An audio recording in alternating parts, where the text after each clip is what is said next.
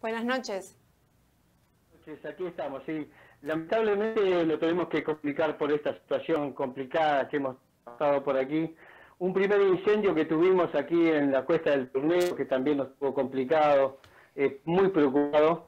Eh, pensábamos que ya se había eh, terminado esto, que ya el verano se iba y que venía la lluvia y todo eso, y que, bueno, los incendios se iban a terminar. Pero se dio esto que es lamentable terrible, no sé cómo describirlo, porque dimos una vuelta hoy hace un rato por allá y lo que ha quedado, no te digo cómo es eh, la imagen, porque casas que en su momento cuando pasábamos en el auto veíamos, ya hoy no las vemos, han quedado totalmente este, destruidas por el fuego y lamentablemente mucha gente las que nosotros por la ruta no las veíamos y que hoy lamentablemente la podemos ver porque el fuego arrasó con todo, mm. arrasó con los soles y arrasó con sus casas.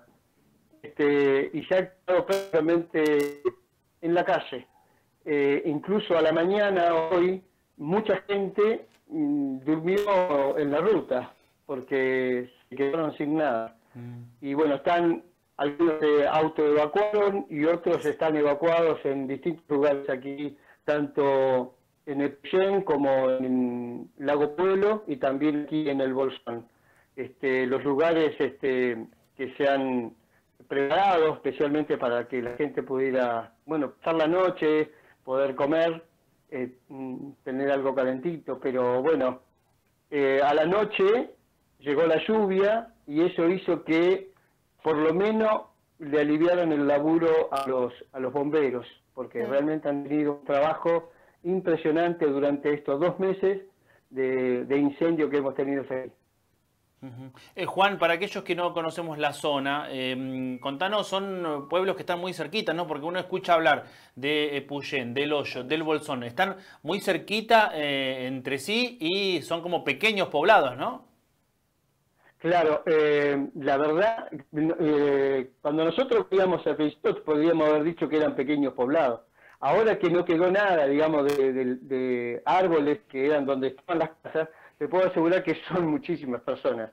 Este, el gobierno nacional te escuchaba que decía que habían eh, unas 100 viviendas este, quemadas. El municipio de Hoyo y mm, de Golondrinas están diciendo que son alrededor de 200 casas, todavía faltan evaluar más, muchas más, porque como te digo, hay casas que están en el, estaban en el medio del bosque y que para poder identificar habían casas, los dueños tendrán que decir, yo vivía ahí, porque realmente no quedó nada. Si te digo no quedó nada, no quedó nada. Mm. Porque las casas acá, este, muchas eh, mm, eh, personas que son eh, obreros, compañeros laburantes, este, tenían sus casitas precarias.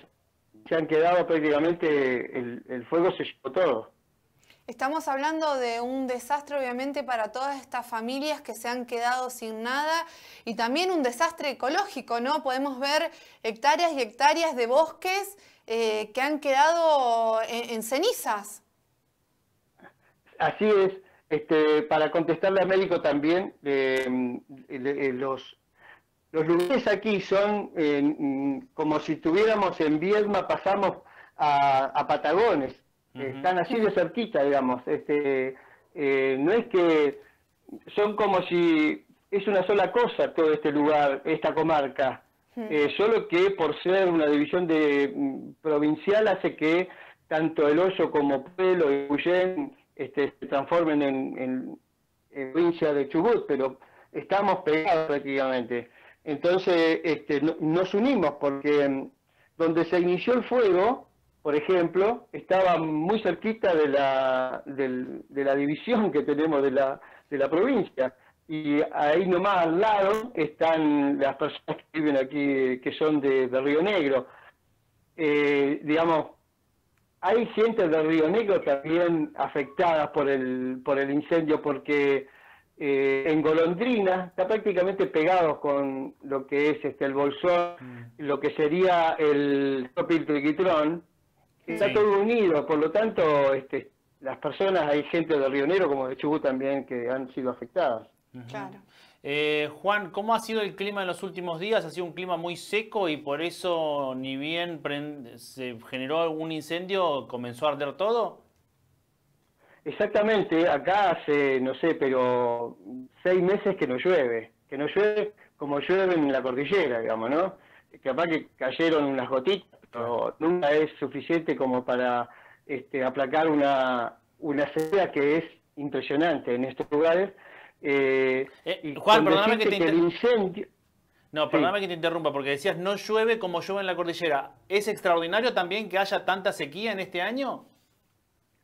Es extraordinaria, exactamente. Es, eh, por lo menos acá se habla de que hace muchísimos años que no, pasa, no pasaba esto que está pasando ahora, de sequía. Y estamos hablando de, una gran parte de la cordillera. No te olvides que en estos momentos, eh, eh, por, el, por la lluvia que vino, se ha aplacado un poco el, incendio que está en el Maitén, mm. que se inició en la Cuesta del Ternero, que continuó hacia ese lugar. Y, eso es todo, está todo seco, es, eh, es impresionante ver ¿eh? lo, que, lo que es la sequía. Y con, con eh, por ejemplo, con el tema de que cómo se inicia el fuego aquí, hay varias versiones. Una de las versiones que hay es el tema de, la, de un problema eléctrico, de un cable este, que hizo cortocircuito, una chispa y, se inició el fuego. Mm. Por otro lado, también hay algunas versiones de la intencionalidad, de, que fueron intencionales. Eh, ¿Esto también se comenta?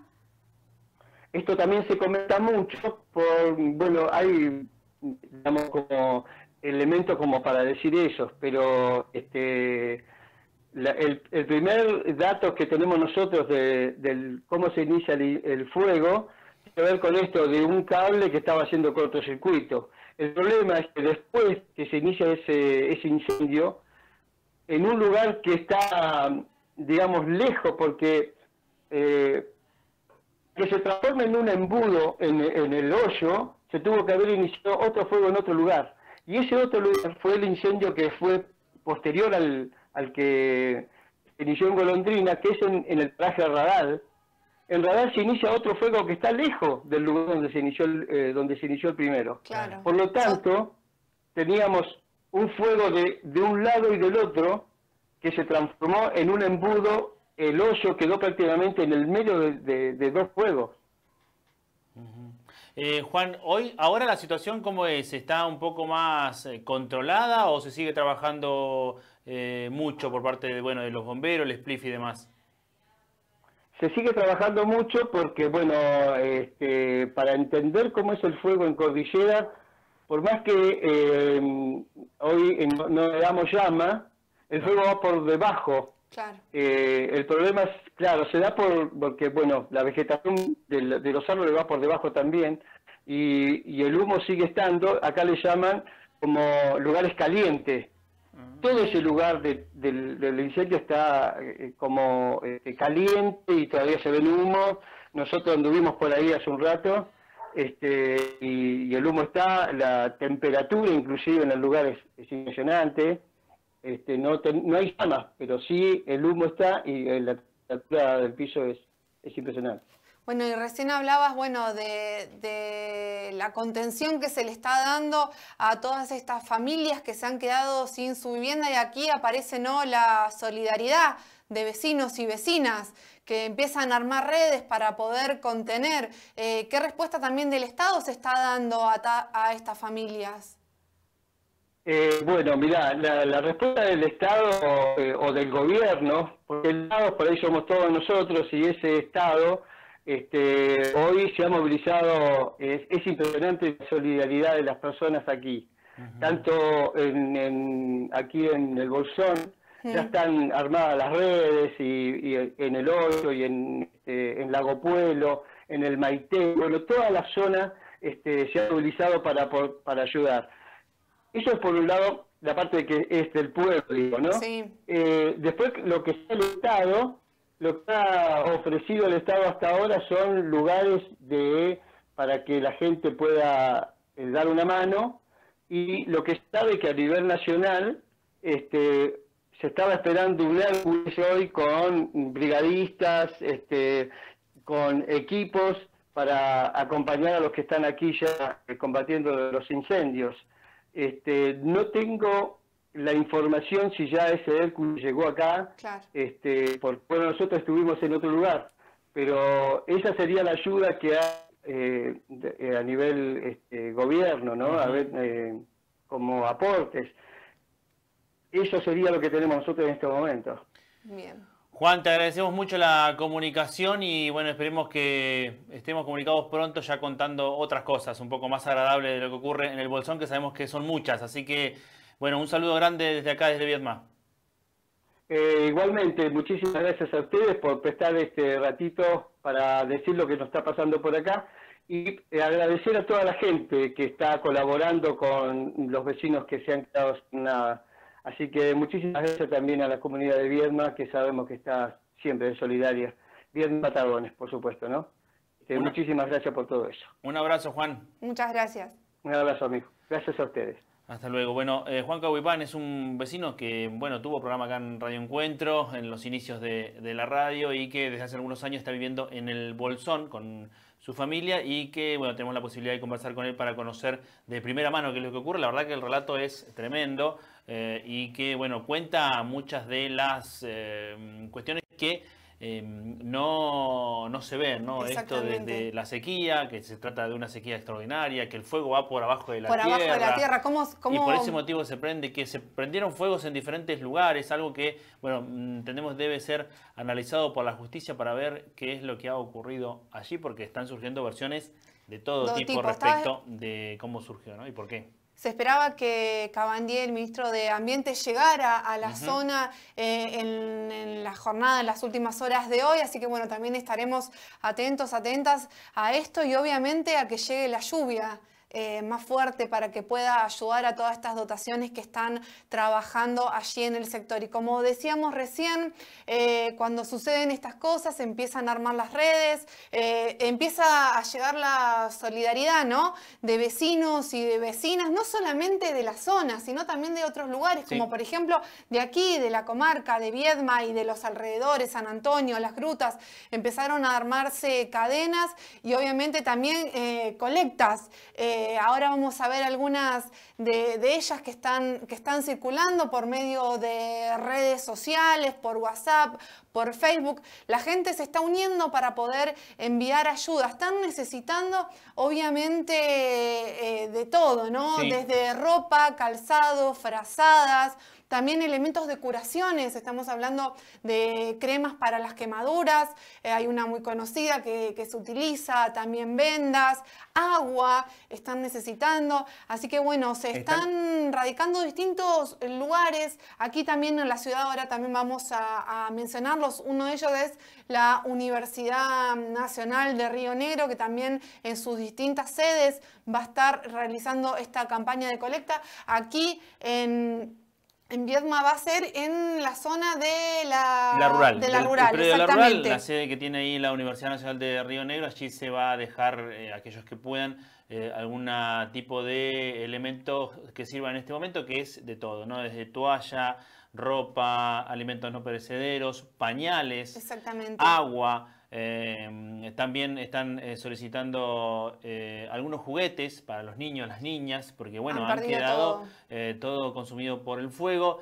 allí mm, está el listado mm. respecto de algunos de los elementos que son necesarios para poder ayudar y colaborar con las familias, los pobladores de la zona andina. A ver si podemos llegar hasta Viedma, creo que está un poquito más abajo el lugar, que es la rural, el predio de la rural de Don Bosco y Leluar. Allí se pueden dejar, se entra por calle Don Bosco. Bueno, muchos y muchas conocen eh, por, dónde ingresar a la rural, así que allí dejar los elementos. Pero hay otras colectas. Exactamente, hay otros lugares porque hay otros vecinos y otras vecinas que se han organizado. En el centro de Viedma también, en Gallardo 181, están recibiendo allí también donaciones. Hay algunos números de teléfono también para, para comunicarse, para poder coordinar obviamente las entregas. Y bueno, la verdad que todo lo que venimos mencionando es es, necesario, se necesita para poder afrontar esta tan terrible situación que, les está tocando vivir allí en el, sur. Exactamente, así que bueno. Eh, seguramente vamos a compartir en las redes, tanto de Radio Encuentro como de NTV, estos eh, flyers que están circulando también por otras redes sociales para que, bueno, quienes eh, quieran y puedan hagan las donaciones correspondientes de todos estos elementos porque se han quedado sin casa. Es un día tener una casa, al otro, al minuto no tenés más nada. Te quedaste con lo puesto. Exactamente. Así que esa es la situación, como para que vayan dimensionando de las cosas que necesitan estos eh, pobladores de la comarca andina. Bueno, eh, tenemos que ir al primer corte, pero antes vamos a repasar los datos de la pandemia del coronavirus.